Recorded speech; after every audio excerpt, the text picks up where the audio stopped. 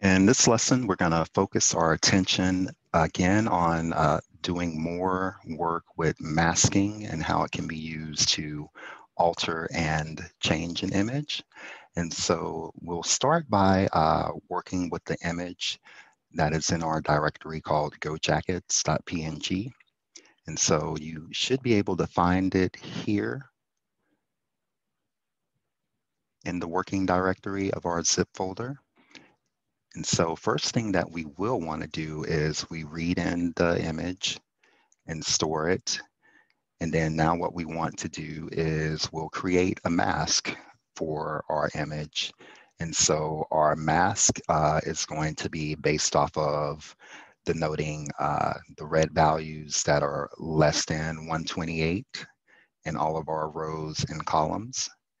Our um, green values that are greater than 128 and our blue values that are less than 128. And so we'll we create a 2D mask and now we'll create a 3D mask based off of our 2D mask. And so we'll apply the logical array that we get to our 3D mask. And so here we'll apply it to our red components, and then we'll apply it to our blue components, and again to our green components. Alternatively, we can concatenate uh, the mass into one using the, the cat command and three mask2d uh, for each one. So now what we want to do is get the appropriate size and color um, for our image. And so we'll get the rows and columns as well as the, the color attributes. And so in this case, what we want to do, do is apply a blue um, coloring to our, to our image. And so for the rows and columns of one, we'll uh, cast it to uh, our, our RGB color of zero for red. And then for for our green, we'll cast it to a color of zero for the value. And then for blue, it's going to be represented at the most as 255.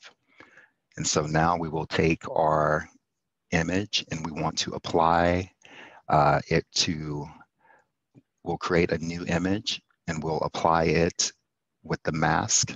And so the new image mask 3D is going to be blue mask 3D that we have created here.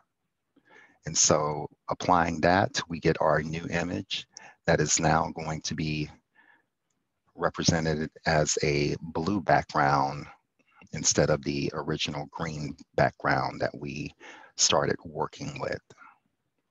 Now we're also able to apply a mask to our colors as well. And this is taken into consideration knowing uh, the appropriate values that we have. And so what we wanna do is we'll pull again the row columns and colors. And then what we wanna do is set the values for the for our RGB components. And we're gonna set it to 255 for red and 255 for blue. I mean, 255 for green, zero for blue, and then we'll apply our the opposite of our mask. So instead of it doing the background, it's going to be doing the foreground or the, the text colors. And so now the new image that we created is going to be blue background, but now instead of black letters, we have it in yellow. And so this is another way in which we're able to use masking to change not only the background image, but also the, the text within a image as well. And so now let's also consider if we want to use a mask to assign a different color value to each layer in our, in our image. So in order to do this, what we can do is we're going, we're going to first pull the background. And so we'll assign a color value to each of the mask layers, and then we're gonna multiply the mask by our color value. And so for the coloring background we'll have for red, we're going to apply our mask times zero. And for green, we'll apply the mask times zero. And then for for our blue component, we'll apply the mass times 255, so it is all blue. And so once we have loaded that in, we get our image that is going to be blue with our black back with our uh, black letters.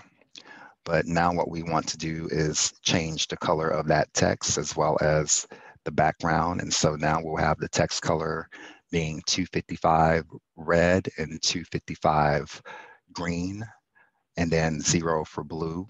And so now our image text color is now yellow.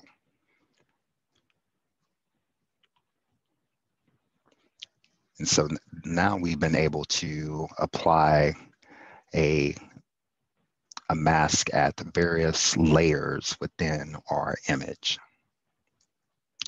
We can also consider that we can use another image um, of the same size to assign a new color value to each layer that we have.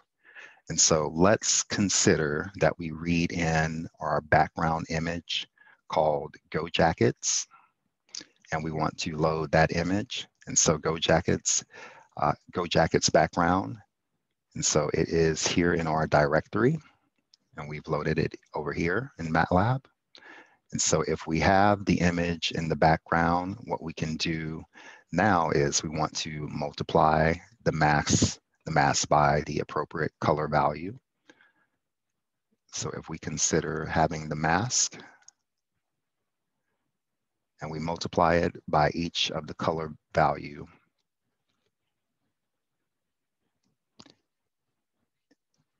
And so we'll have the image background that is going to be represented. Um, we're going to apply a mask times the double background values for the value of our background image for each of the layers, uh, red, green, and blue. So now that we've applied it and we create our new image, we have Go Jackets that is transposed onto our GT uh, background image.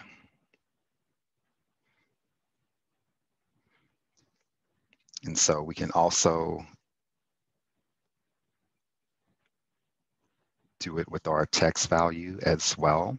And so if we have our image text for each layer for red, green, and blue, we'll, we'll cast it to uh, appropriate RGB value. And so we'll take the opposite of the mask or the opposite of our 2D mask, and then we're gonna incorporate our appropriate background for each layer for red, green, and blue. And so once we've applied the mask, we're able to get a back background, but now for our letters, we've applied our Go Jackets background. So now Go Jackets is highlighted uh, using the background for our GT background image. Additionally, we're also able to utilize a, a 2D mask to work with appropriate corresponding colors for each of our appropriate layers. And so to accomplish this, what we're going to do is create our appropriate layers for the background. So we'll have our layer for our red, green, and blue components. And then we're going to have our image background layers as well. And what we want to do is apply our 2D mask to our image for, for each layer of our image background using our original background in 2D mask. We could also do it by concatenating it. And so now we provide it for our image.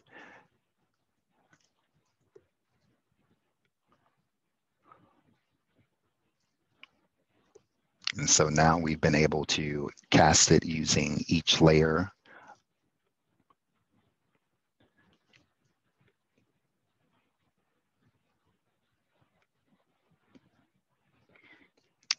we can also concatenate, concatenate it using our image uh, background layer as well. So using that, we get a value of,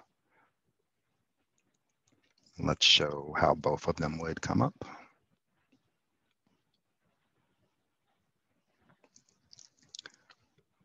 So our initial approach using our background mask is going to give us a green background with our black, black letters for Go Jackets. And now we've also included a version with our, our, our uh, GT Jackets background where Go Jackets is affixed upon it. And so this is a, another approach for using a 2D mask to index the corresponding colors of each layer. Another method, method that we can also use is just apply a 3D mask to index all layers at once.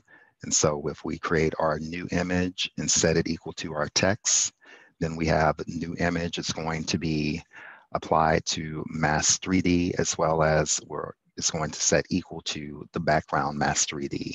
And so now we have image, it's going to show right here. And so that is a, a, a simplified way to apply our a 3D max mask to all index layers at once.